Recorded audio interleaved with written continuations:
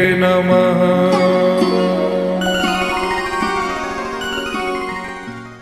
हम यह तीन दिन, माघ मास के दो तीन दिन हैं। आज द्वादशी है, त्रयोदशी, चतुर्दशी और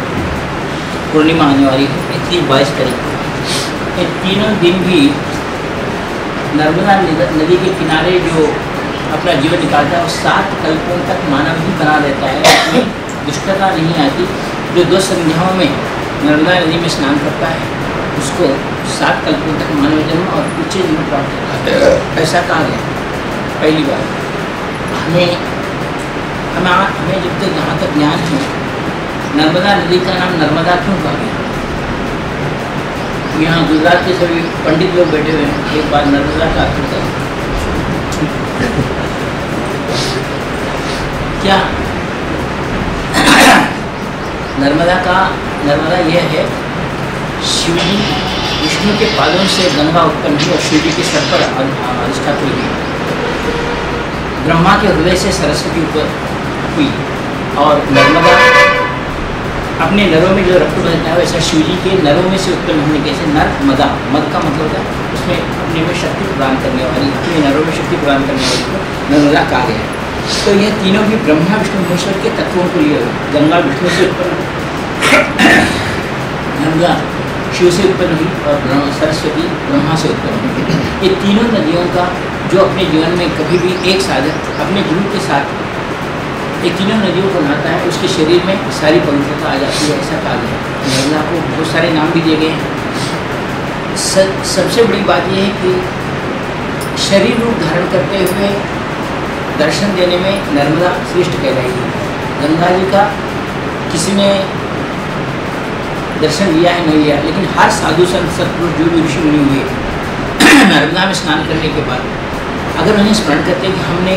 हमारे दिलों में सारे पाप किए हैं, उस पाप को धोने वाली आप हैं, आपने शिव जी को, शिव जी ने हमारे लिए आपको यहाँ भेजा है, ऐसा कहने पर, ऐसा कहा गया है कि हमने देखा है, गंगा जी महाभारत में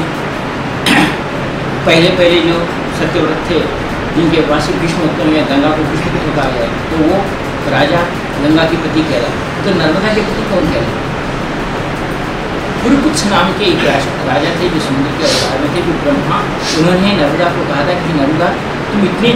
वेगवान बनकर बहते हो कि तुम्हें रोकने का ये नहीं होता। हर बार शिवजी को तो बुलाया नहीं जा सकता। तुम्हारे में स्नान करने की शक्ति तुम्हें कौन रोके? तब कुरुकुत्स नाम का एक राजा था, उन्होंने नर्मदा का स्नान किया। नर्मदा का स्नान करते समय इस राजा का अगर हम स्मरण करते हैं तो नर्मदा की स्नान का हमें पुण्यफल मिलता है। वैसे ही आपको जहाँ तक देखा है, नर्मदा को नर्मदा बाण कहा गया, शिवलिंग। नर्मदा में, नर्मदा की शिवलिंग मिलने का कारण है कि नर्मदा में साक्षात शिव विराजमान है। और एक कल्प में रेवा नदी के रूप में धारण की हुई तो इसमें लाल पत्थर को गणेश जी कहा गया है। कुंडली जारण में, नर्मदा में कभी हमें लाल पत्थर मिल जाए और उसको घर में रखा जाए। आप सभी लोग अगर शेगांव के गजान महाराज की पोथी अगर पढ़े हुए हैं तो उसमें निमोनकर नाम की एक साधु को उन्होंने सिर्फ़ इससे एक लाल पत्थर निकाल दिया जाता और बोला इसके, इसको तुम किसी भी अपने पाठ पर रख दो, या रखकर केवल इसके ऊपर दृष्टिपात करते हुए तुम कुंडली जागरण क्रिया करो। तो कहते हैं कि उन्होंने 21 दिन में अपनी कुंडली जागरण की गजानन महाराज शेगांव के भी इस नर्मदा नदी के भक्त थे। और नर्मदा नदी में जब नाव डूब रही थी ओंकारेश्वर के पास तो, तो साक्षात नर्मदा ने उनकी नाव को हाथ देकर प्रत्यक्ष दर्शन दिया था ऐसा कहा जाता है। इस तरह नर्मदा संकट में रहने वालों को पूर्ण रूप से दर्शन देने वाली कहलाई गई। अब आपको है आने वाली माघ चतुर्दशी को यानी कृष्ण अमावस्या चतुर्दशी महाशिवरात्रि है। और इस महा ये ये जो चतुर्दशी कल की कल विष्णु की, विष्णु सप्तमी चतुर्दशी है, और माघ पूर्णिमा में सारे सारे तीर्थ, जितनी भी पृथ्वी पर नदियाँ हैं, वो सारी नर्मदा में आकर विलीन होती है माघ पूर्णिमा के दिन। तो हम इक्कीस तारीख के रात को भी, यानी शाम को सात बजे तक नर्मदा में सारे तीर्थ रहने के कारण अगर हम स्नान कर सके तो हमारा पुण्य उस दिन पूर्णिमा और चतुर्दशी दोनों मिलकर आएगी। नर्मदा में स्नान करते समय हम किस किस देवताओं को ध्यान करना चाहिए? पहले शिव जी को, बाद में उमा को, बाद में गुरु कुछ नाम के ऋषि को गिरने उनको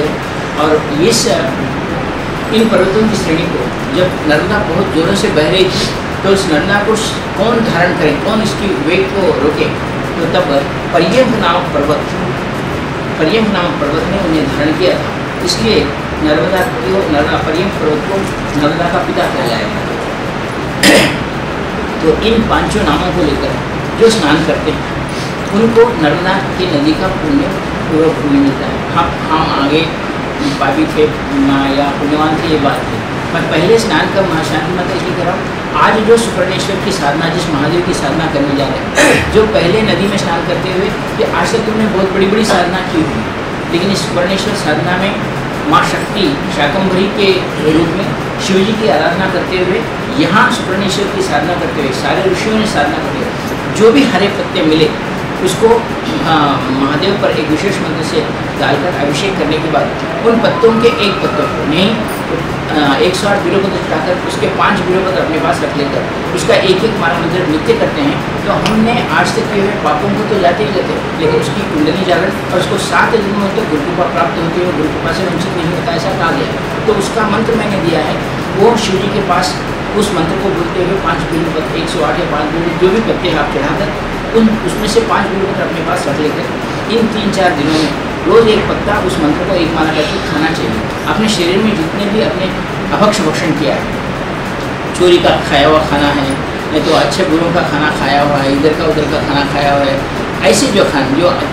ऐसे खाना खाकर अपने शरीर में जो रखी बना है जिसके कारण हमारा मन चंचल हो जाता है अपनी शक्ति चंचल हो जाती है, उसको रोकने के लिए इनको खाने पर ब्रह्मा जी ने स्वयं विष्णु ने कहा है कि मैं भी आकर इस सुपर्णेश्वर में माघ मास में पूर्णिमा के दिन मैं भी आकर यहाँ नदी में स्नान करते हुए पत्ता हिलाकर पत्ता खाता ऐसा ब्रह्मा जी ने स्वयं कहा। तो इस प्रकार हमारे शरीर में ब्रह्मा, विष्णु, महेश्वर की तीनों शक्तियाँ किस प्रकार है, इस प्रकार है, गंगा जल के रूप में नर्मदा रक्त के रूप में सरस्वती अपने में जो रस आता है अपनी बात करते हैं उसमें हम बात करते हैं उसे सरस्वती का। ये तीनों शक्तियाँ ब्रह्मा की पत्नियाँ कहलाई गई है। ये तीनों नदियाँ इस प्रकार अपने शरीर में बहती है। रक्त भी बहता है, जल भी बहता है और सरस्वती का अभी जो रस बहते हैं हमारा आवाज़, हमारे कंठ, हमारे अक्षर आते हैं ये तीनों रूपों में हमारे शरीर में ब्रह्मा विष्णु सरस्वती की तीनों शक्तियाँ, महासरस्वती महाकाली, हमारे तो नर्मदा इन सारी नदियों की इस माघ मास में, सारी नदियाँ आकर माघ मास में इनके पास रहते हैं। माघ पूर्णिमा के दिन प्रयाग में जो जैसा कहा गया, गंगा, यमुना, सरस्वती, वो तीनों भी पहले यहाँ आकर स्नान करके फिर वहाँ प्रयाग में उनका, उनकी महत्ता बढ़ जाती है। तो हम माघ मास में यहाँ आए हुए हैं। स्नान करना, स्नान करने के बाद सुपर्णेश्वर महादेव का दर्शन करना, उसमें मंत्र मैं दिया हुआ हूँ। आप प्रभुचरण के पास से ले सकते हैं। आपको कुछ भी पत्ते बिलो मिलते हैं, बहुत भाग्यवान हैं आप। नहीं मिलते तो कोई भी हरे पत्ते उस शिव जी के ऊपर चढ़ाकर उस मंत्र को बोलते हुए, फिर यहाँ आने के बाद मैं साधना का तत्व समझाऊँगा। एक बात, दूसरे सारे नदियों में स्नान करने से हम शुद्ध हैं गंगा को दर्शन मात्र से शुद्ध हैं लेकिन नर्मदा को स्मरण मात्र से शुद्ध हो जाते हैं नर्मदा पर स्मरण करते हैं कि मात्र में स्मरण कर रहा हूँ तो भी हम शुद्ध हो जाते हैं। ऐसी नर्मदा में अगर हम आज आकर स्नान करके हम इस साधना को संपन्न करें तो हमारे में एक बार जिस नदी को स्मरण मात्र से हमारे में शुद्धि प्रदान, शुद्धि आती है, उस नदी में स्नान करते समय हम डूबते हुए या डूबने के बाद दूसरे लोगों का स्पर्श ना करें, हम उनके पापों के भय बन जाते स्नान करने के बाद हम अपना शरीर, अपने शरीर को पूछ कर नदी को एक बार नमस्कार करते हुए तीन बार आचमन करें, फिर अपने शरीर अपने शरीर पर पानी डाल लें तब भगवान की साधना के लिए अगर हम स्नान करके फिर किसी को छू लेते हैं तो उनके पापों के फली भी हम बन जाते क्योंकि नर्मदा ने कहा कि मेरे मेरे पास तुम ये पाँच रामों को लेकर लेकर स्नान करते हो तो मैं तुम्हारे पाप धो देती हूँ तो उनके जल को, उनके शरीर पर हुआ जल अगर तुम्हें स्पर्श करता है और तुम उनको स्पर्श करते हो तो इसका फिर तुम उसके पाप का अगला भाग बन गया इसलिए स्नान करते समय, स्मरण करने के बाद जो बाहर आके शरीर को पूछ लेते हो तब नर्मदा को नमस्कार आचमन स्वीकार करो आचमन करो और नदी को नदी के जल को स्वीकार करते हुए अपने शुद्ध कपड़े पहनकर हम सुपरमेश्वर महादेव आएँगे। वहाँ आराधना करेंगे। हो सके अगर वहाँ पुजारी ने हमें प्रश्न ये अगर परमिशन देते हैं तो तो उदय महाराज अभिषेक करेंगे। नहीं तो बिलोपत वगैरह चढ़ा रहे उस मंत्र को बोलते हैं एक बार सभी लोग आप